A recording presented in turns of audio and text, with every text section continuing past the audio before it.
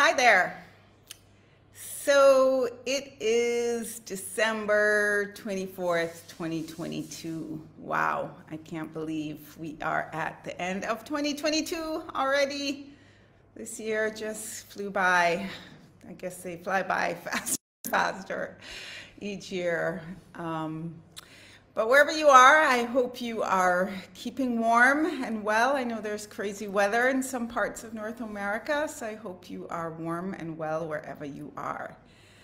But at this time of year, I always like to take a few minutes to pause and reflect on the year that has gone by.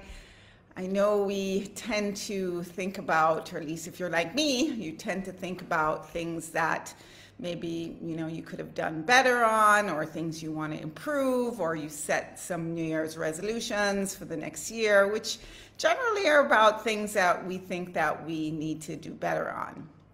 So um, for those of you who don't know me i'm karin from karin yoga life and i am a certified yoga instructor based in kingston jamaica and I specialize in working with women over 40, helping them to manage stress and joint pain with yoga.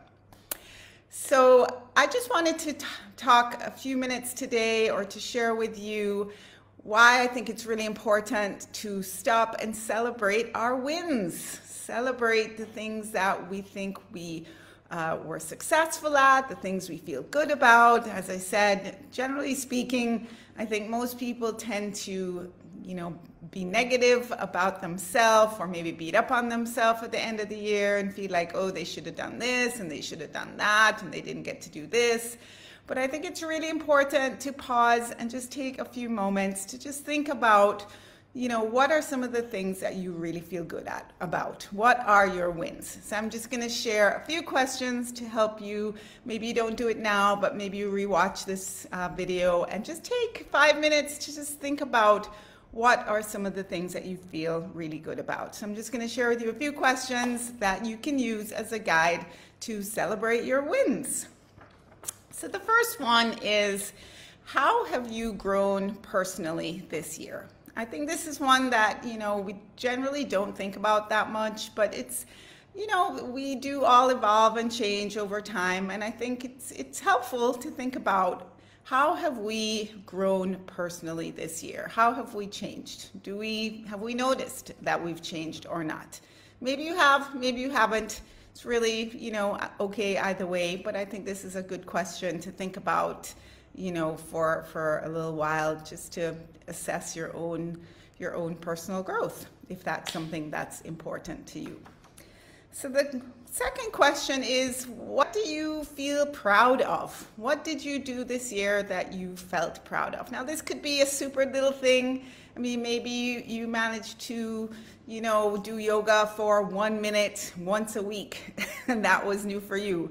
I think it's absolutely important to celebrate small wins. It doesn't have to be some huge thing. You know, I'm all about small, sustainable changes leading to big results. So if you manage to do yoga for one minute once a month this year, I am absolutely proud of you and I hope you're proud of yourself. So think about what are some little small wins or maybe you have some big wins that you're proud of.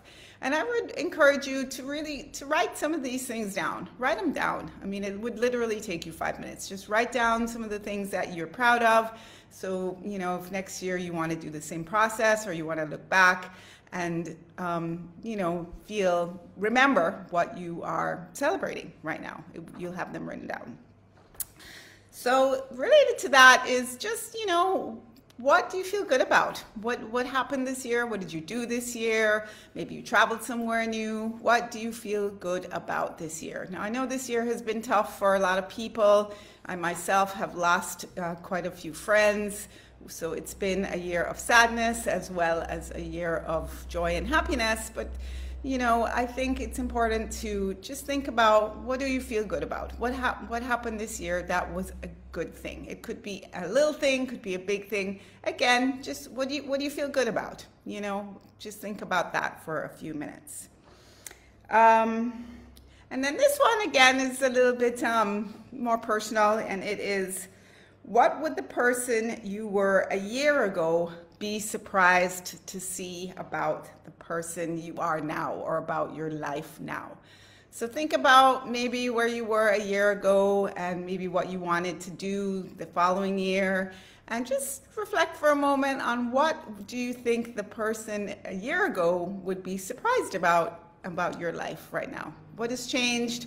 Again, you know, could be positive or negative or neutral and you know, I don't like these labels, but just think about that for a minute, maybe write them down. Again, to me, I like to, to have some kind of record of these moments or these life events so that we can look back on them and really see how much progress we have made or things, things that we've done in our past that we want to we want to remember.